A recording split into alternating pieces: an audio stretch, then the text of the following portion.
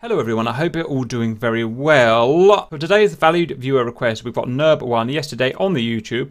I came up with one of your valued viewer questions last night after accidentally loading 40 S-8TsM smoke rockets on my Kamov and launching them at the enemy. I wondered if the smoke rockets will stop tanks, APCs, troops from shooting at you due to a lack of visibility. What about radar guided A? Uh, so will it affect radar? Will it affect IR? It's a very interesting question. Now, the reality of a real battlefield on the ground in terms of ships and ground units, uh, a major thing is smoke. If you go and play Arma, which is obviously uh, much superior to DCS in terms of ground warfare, half of your toolkit is basically smoke. Throwing smokes out stops the hostiles seeing you and you can uh, change the fight on your terms. Now, it's not going to work in DCS, I can almost guarantee you. I've been doing DCS for a long time, and that's because the smoke mod- the smoke just isn't modelled properly like it is in Arma. In Arma, the smoke hangs around and creates a big screen relatively low down to the ground, and the AI are modelled so that they cannot see through that. So I don't know about the radar, but they certainly cannot see visually through it. It's really well modelled. I don't know if there's any ship games out there, but if there are decent ship games, you could probably have cruiser smoke screens, destroyer smoke screens, stuff like that. Same thing. In DCS, everything in terms of smoke ordnance is in terms of marking.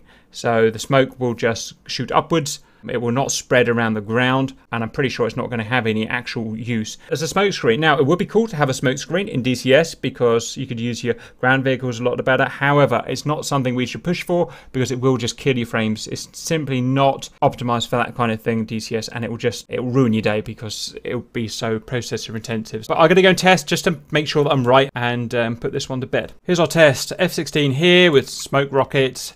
Good guys here. Bad guys here, they're going to shoot each other, hopefully, if I've done it right. And then I'm going to put a smoke screen down there to stop them seeing each other. They should stop seeing it there. That will be the visual test. And if the visual test works, then we can go look at radar and stuff like that. Fight! There we go. Blah, blah, blah, blah, blah. They're going to fire at each other. Don't know why the BTR's not firing, but... I suppose it really matters. There we go. Air to ground, rockets. Uh, done. Master arm. On. Right, let's go and break this nonsense up. Just to make sure, let's put all the rockets down. Altitude. Altitude.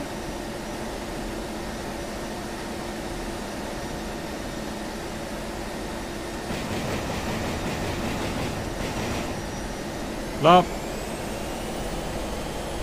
Okay, let's go and see. You can see it's just the wrong shape. However many rocket, however many rockets I put down there, uh, there's always going to be a gap through because it's simply not designed like it is in Arma to kind of shroud, uh, if I can get this shroud around this area here and block view. So it has no effect. I can guarantee it's going to have no effect on IR signature. The reason I know that is because I've tested clouds um, and I can guarantee it's going to have no effect on radar signature as well. Nice easy one to answer, uh, nothing else to add.